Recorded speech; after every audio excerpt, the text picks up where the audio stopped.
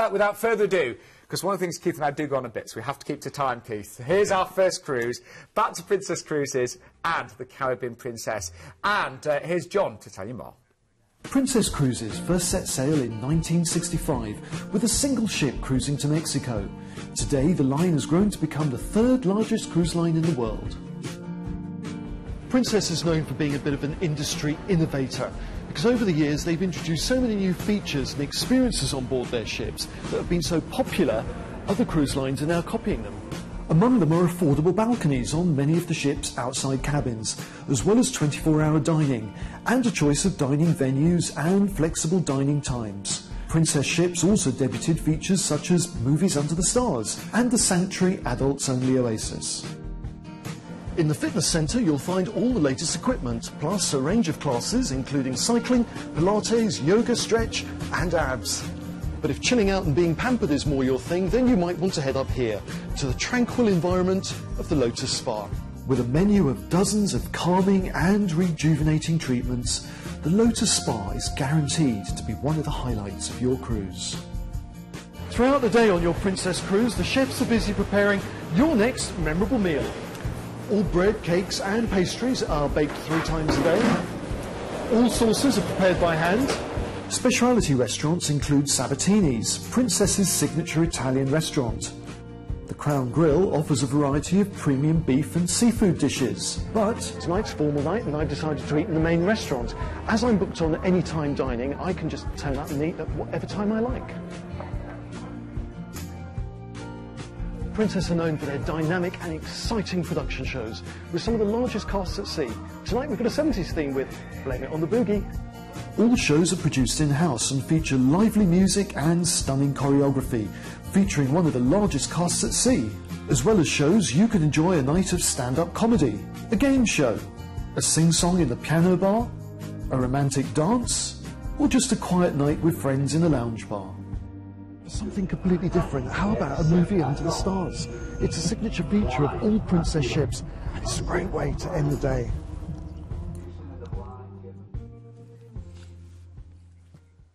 I tell you, when you when you see um, film footage like that, it really you know, reminds you, or if you've never been on a cruise before, it, it shows you just how much there is to do. You, you are never bored. Absolutely. For, for a minute, are you? And it's very easy to take all of it for granted, but these are, you know, when, you- when you when you play, when you place it against what you get in a hotel, Oh, yeah. the amount that you get more in sense of the quality of the service and the fact that you unpack once and you're just in different places every day. Even like the, the you know, you said the, the, the movies under the stars that you saw Jonathan in at the end there. Just the way you can go and see concerts and, and massive films every night with free popcorn. It's just It is, it is amazing. is added on. It- some friends of mine finally went on a cruise. In the 60s, and now you know it's like, oh, why didn't we do this years ago? So you know, I hope today, while we've got such amazing prices, I hope you book maybe your very first cruise. Anyway, let's see where you're going to be cruising to. Uh, starting from Southampton, which is great because that means it's really easy. You can take as much luggage as you like with you, and we're making our way over to uh, Zeebrugge, aren't we? Zeebrugge, that's right, your gateway to Brussels if you want to go there. And of course, that's where uh, you've got all the wonderful bureaucracy.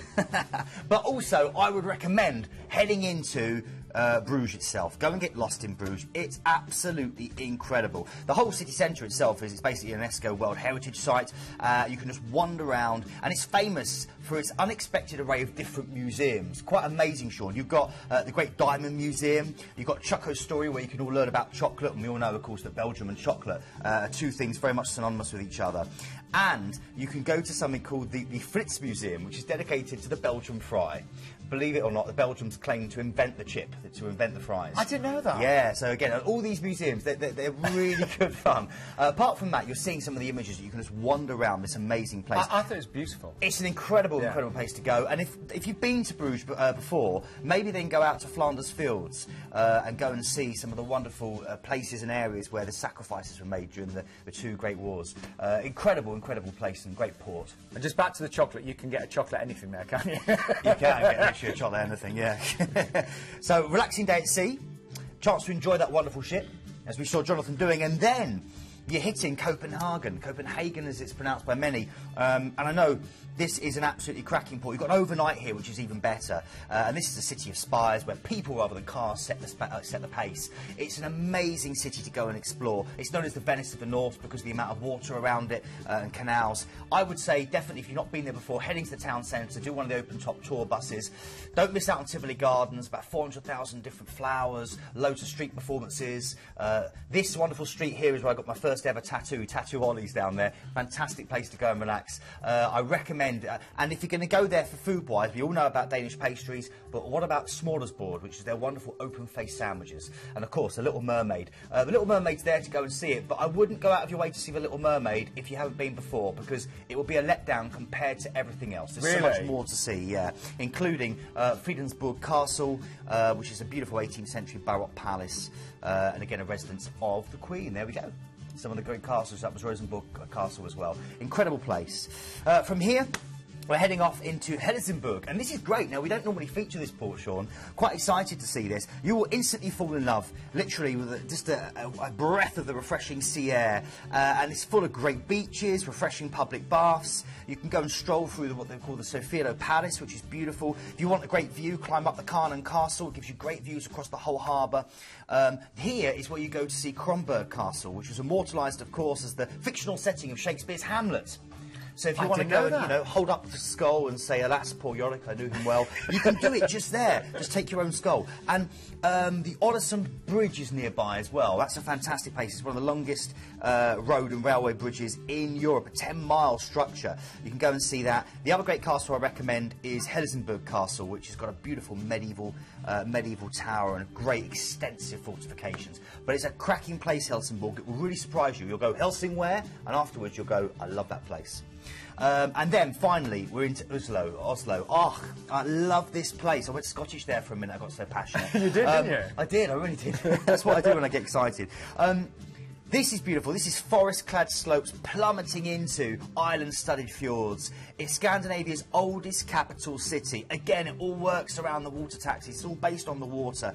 It's a beautiful place, uh, and it's one of the largest capital cities in terms of area, not in terms of population. Akershus Castle is just overlooks where you dock. This is it here. The gardens along here uh, from that uh, from Akershus Castle, 14th century castle, and the views back out into the fjords and of the city are absolutely stunning. I'm just, uh, just looking at some of the gardens coming up now, because I'm really into my gardening, and these look amazing. Oh, you, you would love this. You'd spend the whole day just there, Sean. You've got the Viking. Ship Museum there as well, with some of the oldest Viking ships in the world. Uh, your Vigeland Park is full of amazing sculptures, amazing, huge, life-size sculptures. Um, you can go and see the National Gallery where the Scream painting is there, in you know the original. Uh, and you've got the Nobel Peace Prize, um, the Nobel Peace Prize Museum as well, right on the on the front, which is incredible. So much to see and do. Really brilliant place, Oslo. Uh, and then a, a final sea, just to enjoy that gorgeous ship, of course, and then back to Southampton. Um, amazing value. Don't forget. Um, this is going to include your all-inclusive beverage package. Uh, you need to book before the 30th of uh, June to get that, of course, as well. We've also got the uh, unlimited soda package and up to $75 on-board spend as well. Um, an amazing deal, but a beautiful ship as well. Now, Keith, one thing that we, we both know that anyone that is cruising from Southampton, um, it's fine if you live near Southampton, but for those viewers that maybe live a bit further afield, it takes me about three and a half hours to get to Southampton. Some of you it might take six, seven hours. To make your journey a little bit less stressful, we'd recommend staying at the Marriott. And we're going to be there next week, actually, aren't we? Absolutely, we are. We're going to be there on, on, on, Sunday. Uh, this time next week, Yes. we'll be there as part of that wonderful show, which we'll give you details on a little bit later. Um, but it's a fantastic hotel, and of course, you get your parking included. You do, and your transfers as well. And your transfers. The guy with the hat drives you. Yeah, it's, honestly, it's, it's really worth Yeah. it. We get a special deal uh, with Planet Cruise uh, from £70 per person per night. Anyway, here's my twin to tell you more.